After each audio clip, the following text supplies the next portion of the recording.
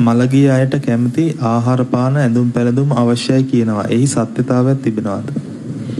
ඔව් යම් යම් දේවල් සත්‍යතාවයක් තියෙනවා. දැන් අපි හිතමුකෝ යම් කිසි කෙනෙක් මිය පරලෝ යනකොට උපාදානය කරගත්තේ යම් යම් දේවල් නම් ඔය පෙරේත තටුවක් හැටියට අදත් අර තුම්මන් හන්දියක පෙරේත තටුවක් තියලා ඔය කැමති අර ඉන්න කාලේ ජීවත් වුණ කාලේ කැමති කෑම බීම අරක්කු අරවම ඔක්කොම තියලා පූජා වට්ටියක් තියෙනවා. ඒක ඉතින් ඒ වගේ දේවල් අදත් මිනිස්සු විශ්වාස කරනවා කරනවා තියෙනවා ඒවා යනවා. නමුත් ඒ වගේ වෙන්නත් පුළුවන්.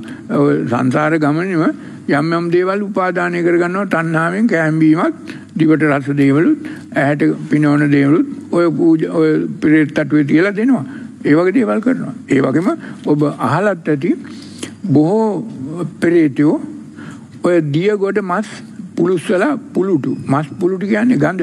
ඒ ගන්ධය ආර ආග්‍රහණය කරනවා. ඒකනේ ඔය ඔය මේ කපුරාල්ල කට්ටඩි මහත්තයෝ ඔය යන්ත්‍රවන්ත කරන මිනිස්සු ඔය ජප කරන මිනිස්සු අර කප කරනකොට දියගොඩ මස් අරගෙන ඒවා පුච්චලා පුරුද්දලා අර ගඳ සුවඳ දාන. ඒ සුවඳ ආග්‍රහණය කරනවා අර ප්‍රේතයෝ අර මස් වල මාළු වල අර පිච්චෙනකොට ඒ පුරුදු සුවඳ ආග්‍රහණය කරනවා. ඒවා තියෙනවා. ඒවා එම ඒවා මේ මිනිස්සු වෙලා ඉන්න කාලේ ඒ ඒ අය කැමති දේවල් තමයි ඒ වගේ දේවල්. ඒවා සංසාර පුරුදු. ඒවා ප්‍රේතයෝ වුණත් භූතයෝ වුණත් ඒවා ඒ විදිහටම තියෙනවා.